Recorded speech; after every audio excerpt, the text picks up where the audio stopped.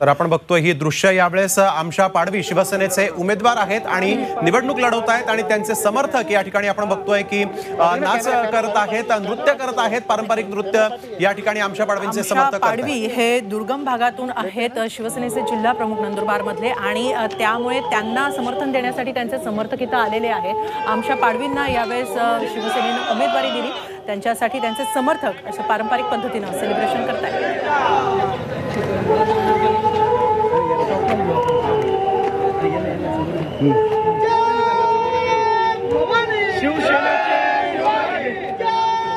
या ठिकाणी आपण बघू शकतो विधान भावना बाहेर पाडवी यांचे समर्थक जमा झालेले आहेत आणि आदिवासी नृत्य ते या ठिकाणी करतात.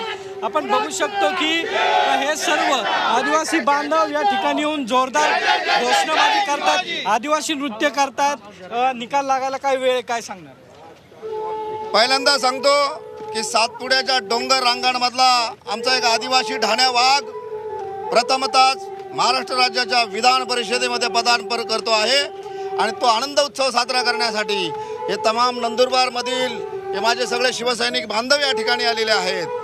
आणि या निमित्ताने पक्षप्रमुख आदरणीय उद्धवजी ठाकरे साहेबांचा आम्ही आभार देखील या निमित्ताने मानण्यासाठी. सर्वसामान्य कार्यकर्त्याला उमेदवारी मिळाली आहे. विजय होईल असा सगळा विश्वास आहे. काय? शंभर टक्के. शंभर टक्के आमच्या दादा पाडवी नि- निश्चित स्वरूपामध्ये आजपर्यंत नंदुरबार जिल्ह्यामध्ये शिवसेनेचा आमदार हा आमच्या दृष्टीने एक ऐतिहासिक क्षण आहे.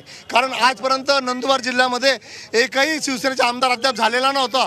परंतु मान्य पक्षप्रमुख उद्धवजी ठाकरे साहेब यांच्या आदेशाने आणि आशीर्वादाने आमच्या दादाच्या रूपाने नंदुरबार जिल्ह्यामध्ये प्रथमच शिवसेनेचे आमदार म्हणून यांची निवड झाल्याबद्दल आम्ही तमाम शिवसैनिकांमध्ये एक उत्साहाचं वातावरण आहे.